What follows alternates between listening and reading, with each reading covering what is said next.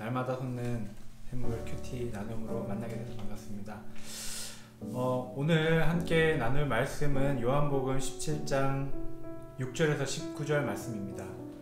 네, 오늘따라 그 절수가 많습니다. 그런데 어, 6절이랑 몇 개 절만 함께 나누려고 합니다. 6절에 보니까 예수님께서 세상 중에서 내게 주신 사람들에게 내가 아버지의 이름을 나타내었나이다 라고 말씀하셨습니다. 예수님께서 어, 제자들에게 어, 보여준 것은 아버지의 이름이다 라고 말씀하셨어요. 하나님의 이름을 나타냈다. 예, 여러분, 하나님의 이름이 무엇입니까? 성경에 많은 하나님의 이름이 나와 있습니다. 예, 어, 뭐 여호와 이레, 예비하시는 하나님, 여호와 라파, 치료하시는 하나님, 여호와 샴마, 어디에나 계시는 하나님, 여호와 니시, 승케 하시는 하나님, 여호와 샬롬, 평안의 하나님, 여호와 로이, 목자 되시는 하나님. 이렇게 하나님의 이름들이 구약 성경에 여러 곳 에서 이렇게 나타납니다. 그러니까 어떤 이야기를 통해서 어떤 스토리를 통해서 어떤 사람이 그런 하나님을 만나고 나서 이런 이름을 하나님이 이제 주시는데요. 그 하나님의 이름을 예수님이 제자들에게 나타냈다라고 말씀하셨어요. 그 말은 뭐냐면 예를 들면 평화의 하나님, 평안의 하나님이 예수님을 통해서 제자들에게 평안의 하나님이 나타난 거예요.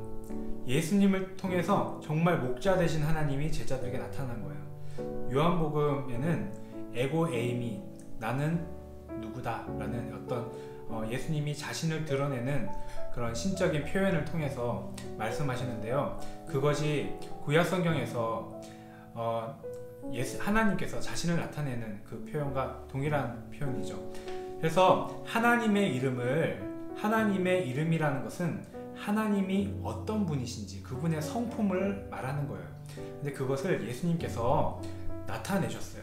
예, 여러분도 마찬가지로 곰곰이 생각해 보면 하나님의 정말 살아계시고 하나님이 우리를 사랑하신다는 것을 정말 깨닫게 되는 어떤 사건이 있으셨을 것이, 것이에요. 그래서 곰곰이 돌아보면 그때를 생각하면 다시 은혜가 생각이 나고 의세, 은혜가 되고 그때를 생각하면 아 하나님이 그런 분이었지 이렇게 힘을 주는 그런 사건이 있으셨을 것입니다. 그것이 그 사건이 하나님의 이름을 나타내신 사건이에요.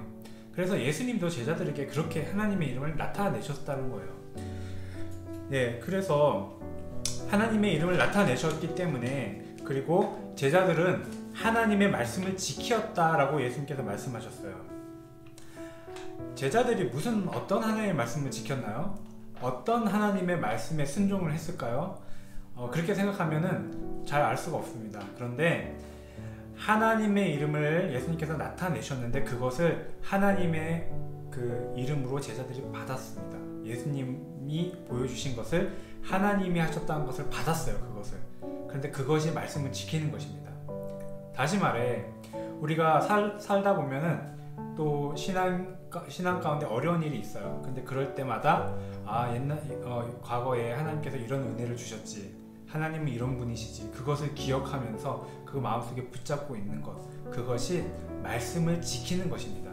그래서 제자들은 그렇게 예수님을 통해서 하나님의 이름을 받았고 하나님의 이름을 지켰습니다. 하나님의 말씀을 지켰습니다. 예수님께서 그 말씀을 하시면서 기도를 하십니다. 예수님의 기도에 여러 번 반복되는 부분이 있는데요. 뭐냐면 어, 바로 하나 되게 하소서라는 기도입니다. 어, 11절에도 보면은 어, 나는 이제 세상에 더 있지 않지만 어, 제자들은 세상에 있잖아요. 그런데 하나님의 이름으로 그들을 보존하사 우리가 같이 우리와 같이 그들도 하나 되게 하소서 이렇게 예수님께서 기도하십니다. 여러분 하나 되는 것 하나 되는 것이 무엇입니까? 하나님은 우리의 마음을 다 아십니다. 우리가 어떻게 느끼고 어떻게 생각하는지를 다 아십니다. 그렇다고 해서 하나님과 우리가 하나라고 할 수 없습니다. 왜냐하면 우리는 하나님의 마음을 모르기 때문입니다. 하나님만 우리의 마음을 아시지 우리의, 우리는 하나님 마음을 몰라. 그러면 하나 된 것이 아닙니다. 하나 됐다는 것은 우리도 하나님의 뜻을 알고 하나님도 우리의 마음을 알고 그 서로 서로의 마음을 알고 일치되는 것. 그럴 때 하나 되었다고 합니다. 예수님께서 기도하신 것은 바로 하나됨입니다. 여러분 살아가는데 여러 가지 그 생각들이 오갑니다. 그런데 하나님의 뜻이 있으십니까? 하나님의 생각을 아십니까? 깨어 있으라고 했죠. 우리가 정말 성령을 통해서 우리가 하나님의 뜻을 알게 되고 하나님의 그 마음을 알게 된다고 어, 성경 말씀에 나와 있는데요. 예, 하나님은 우리 마음을 아시기 때문에 하나님의 하나님에게는 문제가 없습니다. 바로 우리만 하나님의 뜻을 알고 하나님의 뜻을 이해하면 하나가 될 수 있습니다. 그런데 그것을 위해서 예수님께서 기도하셨습니다. 예수님의 제자들을 향한 기도 세 가지가 있습니다. 첫 번째 하나됨, 하나됨의 기도이고 이것이 가장 중요합니다. 그리고 예수님은 하나됨의 그 얼마나 그 하나됨이 주는 기쁨이 큰지 내 안에 있는 기쁨을 너희에게 주기를 원한다 하시면 기쁨을 위해서 기도하셨습니다. 그것도 하나됨에서 오는 것입니다. 또 하나 진리로 말미암아 거룩하게 되어서 제자들을 보호해 달라고 기도합니다. 이것도 하나됨에서 오는 것입니다.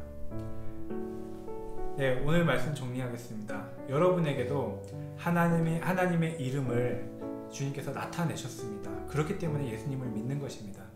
그 이름을 그 하나님이 나타내신 그, 그 이름을 여러분 귀하게 간직하시기를 원합니다. 또 하나, 주님은 우리가 하나님과 하나 되기를 원하셨고, 기도하셨고, 그래서 성령님을 보내어 주셨습니다. 우리 삶 가운데 하나님과 하나 되기 위해서 하나님의 뜻을 알기를 원하고, 구하고, 어, 그렇게 깨어서 기도하시기를 원합니다. 그럴 때 기쁨이 옵니다. 두 번째, 하나님께서 우리를 보호해 주십니다. 진리로 거룩하게 하시, 어, 해주실 것입니다. 오늘 하루도 이 말씀대로 정말 주님의 그 보호하심을 받고 또 주님 주신 기쁨을 누리시는 여러분 되기를 축복합니다.